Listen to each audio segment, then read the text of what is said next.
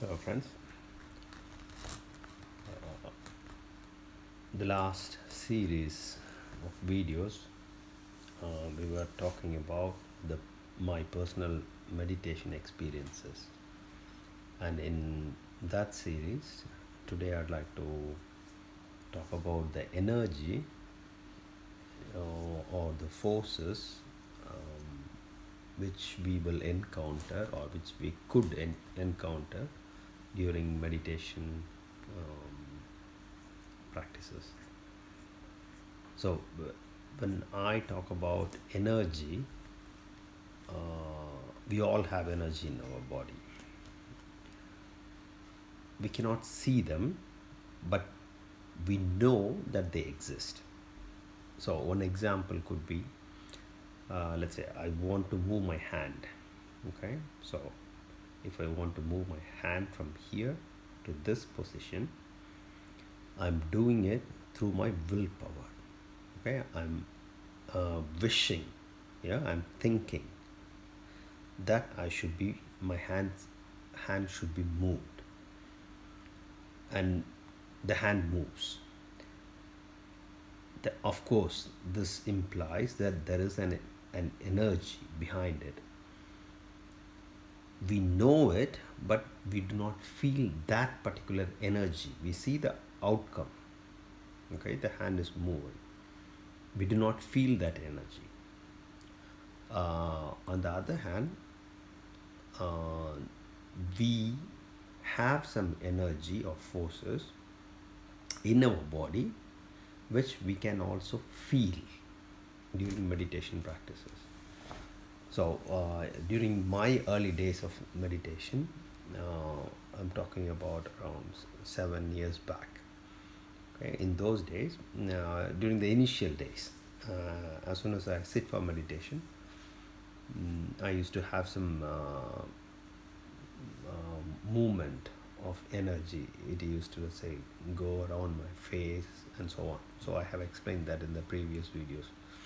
So in particular, in this video, I'd like to stress uh, or I'd like to cover the aspects which are more potent or which has a more dynamic nature. Okay.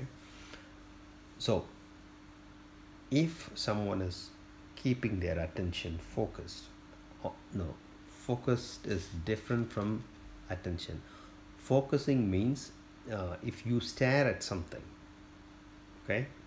Keep on staring at a particular point then. Then that is called focusing. Attention means you just let's say you are aware of this point and then you stay there. Yeah? Do not deviate from that. So attention and focusing are different.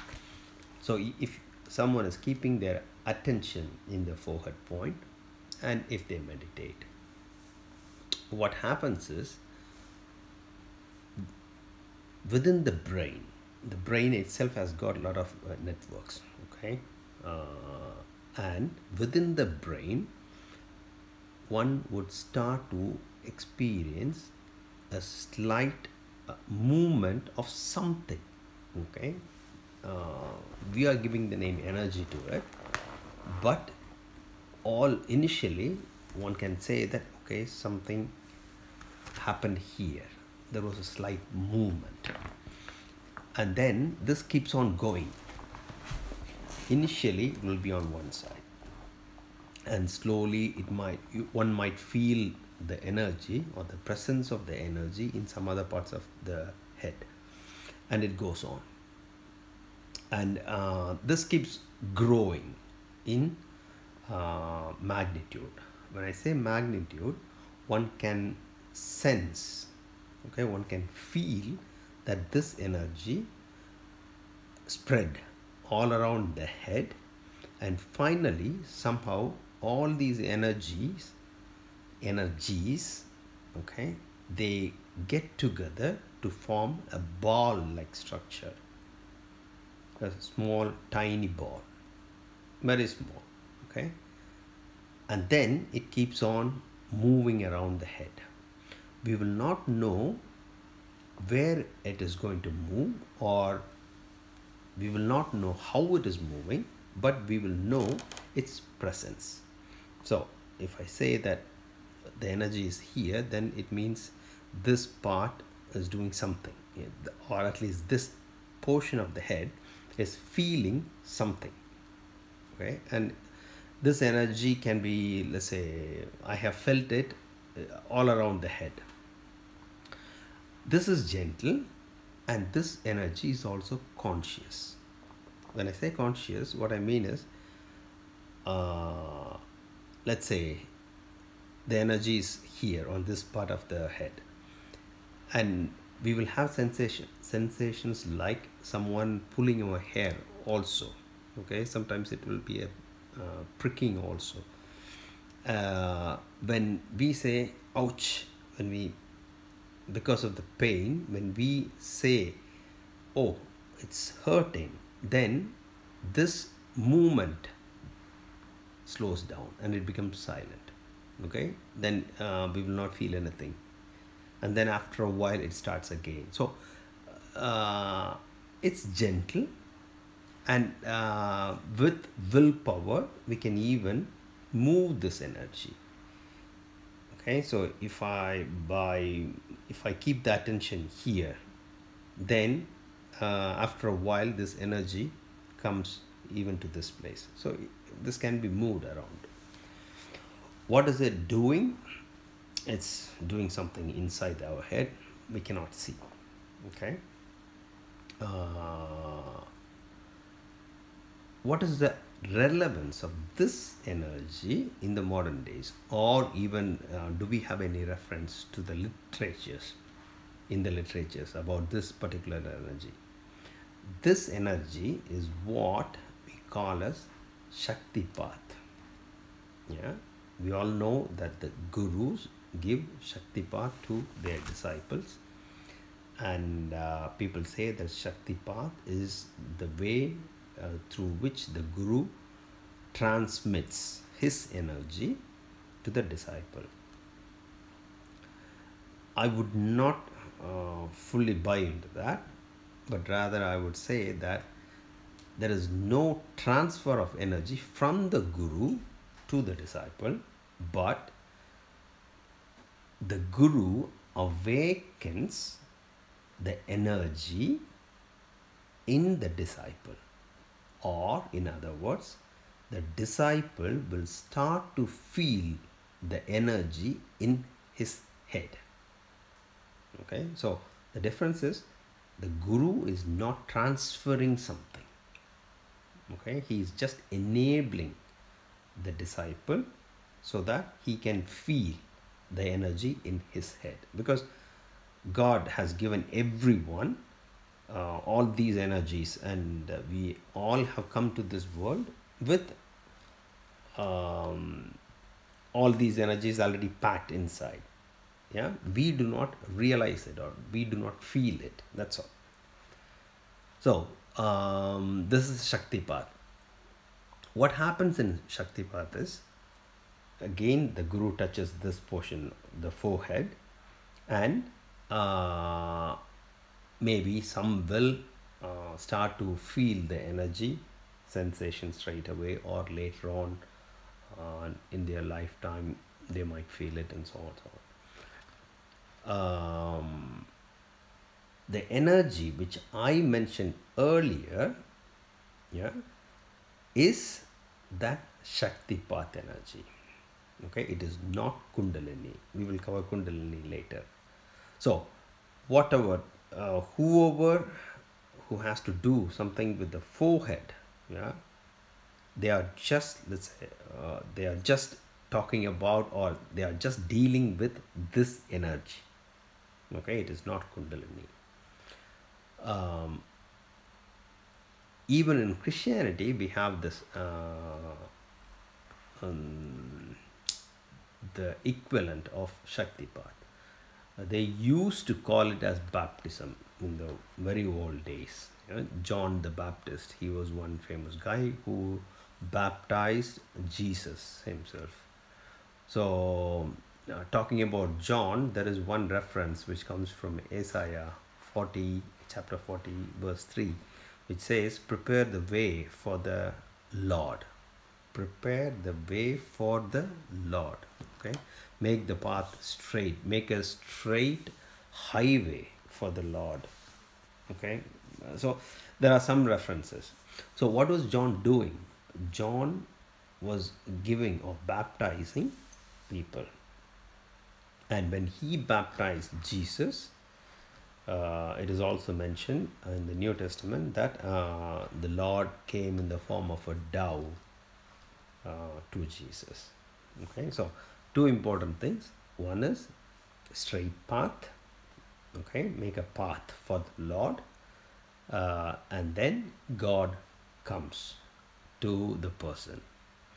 Now, uh, what is the relevance of this path and this particular energy in the forehead is after a while this energy keeps moving around in the head and then what it tried to do was to come to this portion of the head the top portion of the head and it was trying to go out. It is a very very scary experience. I did not let it go out. Uh, and i shifted my attention either to the throat or the heart during the meditation so that I can, let's say, push this energy somewhere else. But the energy was silent for some time and then again, finally, it always came up to the top portion of the head. This went on for three or four days, and then finally, I said, okay, go let's see uh, it was scary because my feeling was that if this energy is going out of my head uh, i might die this is the feeling okay? so i finally let it go out uh, what happened was for about 10 to 20 seconds there was nothing. After this energy went out pure silence. And then just like a how uh, firecracker it is called flower pot. We used to keep it on the ground and light it.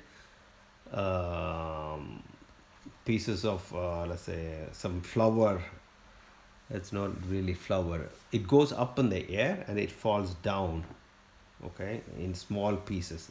We can hear some different sounds from that uh, cracker. Just like the way how the flower pot uh, um, is lit up this energy when when it went out it I, I would imagine that it went up to a certain height and then it started to fall like showers on my head. Okay just like in different areas of the head and one other experience which i had at that time was that there was a very strong rod a straight pipe being inserted on the top of my head. Just imagine that the head is split and then when someone is inserting a strong tube or a pipe, how does it feel? So I had that experience. And then I came out of that meditation and then um, that was over. Uh, I then thought this uh, energy would have disappeared completely, but it did not go away okay it is just let's say it was and, and it is still going around the head in all different directions and so on one difference after this insertion of the tube experience is that this energy started to go up and down.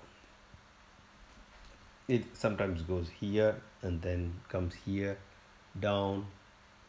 So it started to go in the vertical direction okay? Um, this went on for a while and this tube is very straight okay? Very straight the reason why i mentioned about isaiah and the, um, prepare a path for the lord in the wilderness is that this energy is not kundalini but this energy prepares the awakening of the kundalini. Okay? So the way how it work uh, works is that this goes up and down. The tube is formed steadily. And then at a certain stage what happens is uh, the kundalini awakens. So when i say kundalini um, according to the literature they talk about uh, a dormant energy at the um, tail end of the backbone. Okay now uh, even when I hear some experiences in in the world from people who have uh, had kundalini experiences they always talk about the rising of the kundalini from the base of the spine. They don't mention anything about an energy which is coming from above so the reason is what I experienced was it is not, I can say there are two major differences compared to what I have read and heard compared to what I have experienced. The first one is there is an energy a bit bigger than the other energy. The other energy is, let's say, it's quite small, okay, very small, a spherical in spherical shape. The other energy which originates somewhere outside the head, okay, it is not inside the head. One day, what happened was uh, there was an energy in the size of a, a lemon, for example, okay. That energy started to come into my head along the same tube which was established earlier. Did the tube already exist and did I not realize that?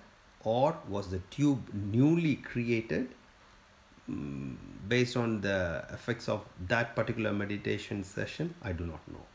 Okay but this lime or lemon sized uh, energy a gentle energy started to come down the difference between the lime size energy and the previous one in the forehead is that this energy is also gentle the lime sized one is gentle. It comes down very very slowly gradually but our body is fixed.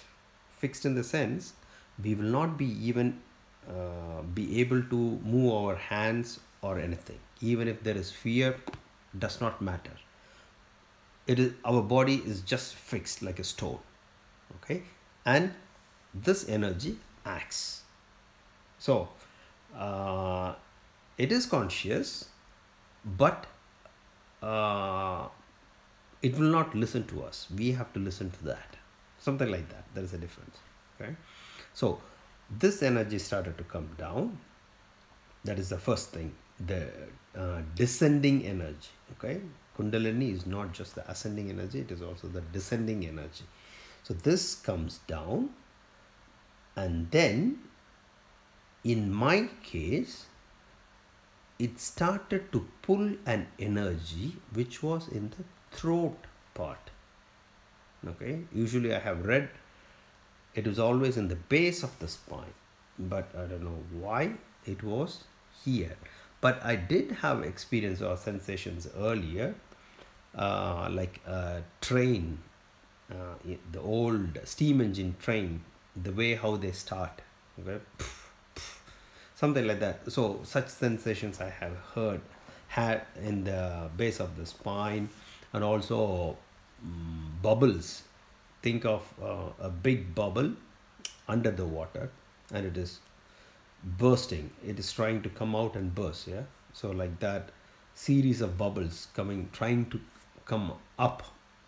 So those things.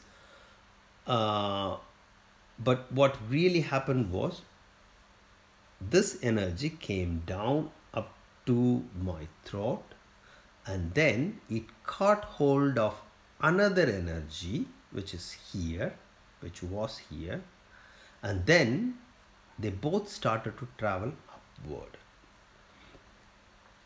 and then i was able to watch it very carefully okay all you, all we can do is just watch what is happening that's all nothing more so uh, it was going up, up. uh, Yeah, I can also even tell that the way how it was going is that just think of an uh, intestine.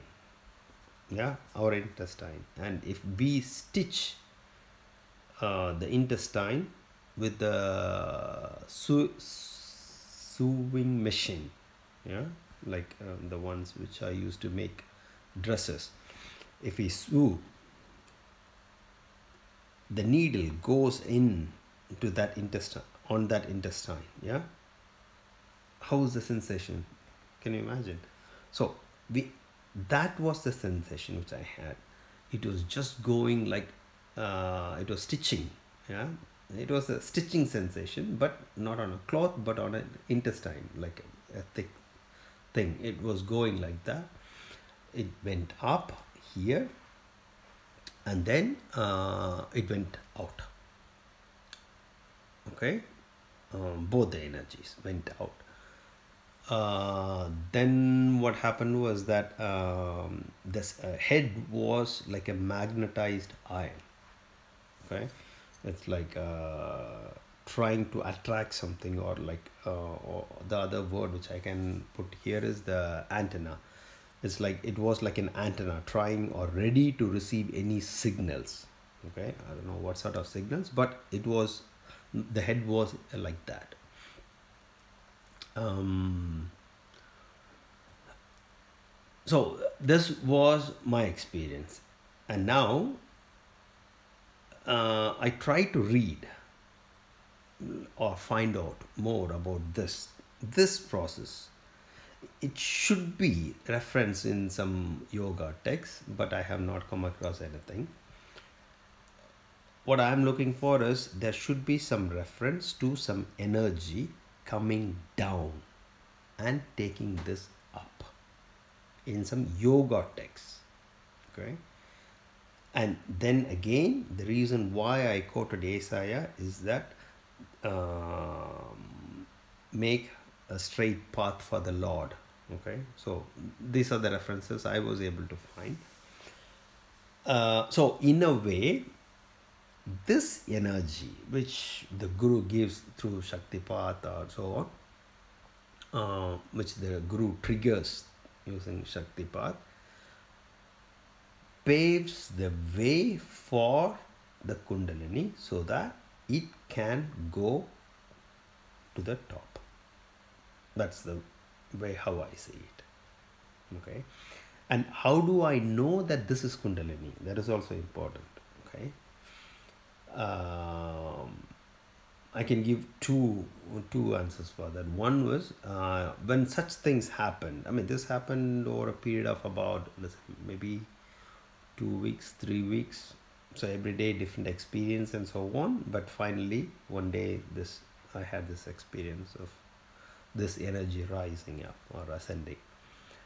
Um, i used to get lot of uh, lot of dreams. And uh, they were all about snakes. So and then i tried to find out what a snake means and so on so it all went and pointed out to kundalini so that was one I used to tell all these stories to my wife. She used to just listen, and she was uh, hearing the term Kundalini for the first time in her life. Even that was new for me. So I tried to explain what could have happened, and she was just listening and nodding her head and said, "Okay, okay, fine," because she did not understand anything. And then uh, one day in Frankfurt, we met another guy, and uh, a guitarist uh, who was playing for a band. Mm, he was into serious meditation stuff and so on. He uh, called my wife, and I didn't know him.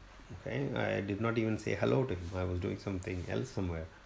So uh, by looking at him, he told my wife that he feels uh, or is reminded of Kundalini when he sees me. So my wife was shocked, and she said, uh, she told me, okay, uh, this guy is saying like that, so there should be really something called Kundalini and so on. So, so uh, I'm almost certain that this is Kundalini. Okay, so why did it uh, start from here? I don't know. I don't have any experience or explanation for that. Uh, so that was one. Um, is there any other reference which I can give for this uh, descending energy? Yes, this I can give. Uh, if we talk, uh, if we talk about uh, Murugan, Lord Muruga, he, uh, they would write as uh, Muruga, Lord Muruga has got two wives. One is Devanai, the other one is Valli. Yeah. So Devan, okay, Devanai.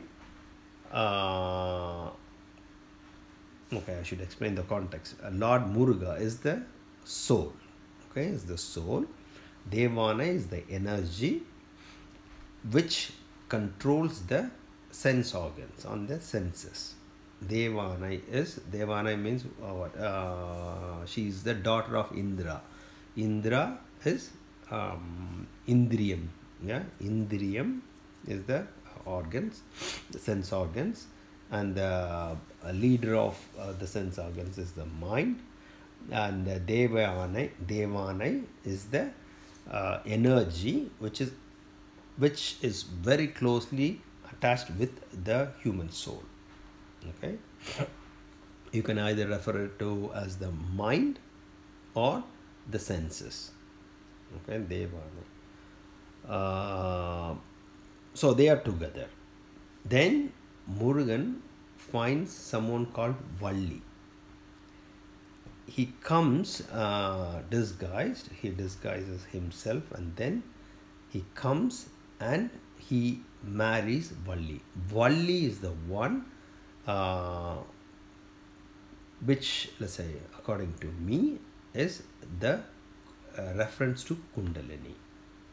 Okay, so he tries to come, and then uh, Valli was longing for Murugan, so he marries, and then they both live together. So this is one reference where Murugan comes uh, to Valli.